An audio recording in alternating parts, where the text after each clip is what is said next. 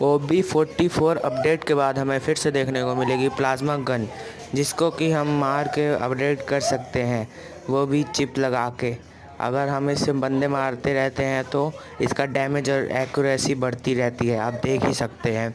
और आपको ये भी पता होगा कि दो ऑग भी आने वाली है, जिससे कि हम अगर बंदे को किल करते हैं तो हमें उसकी चिप मिल जाती है।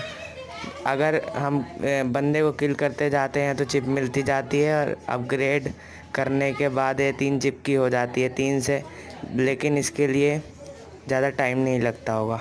आप देख ही सकते हैं।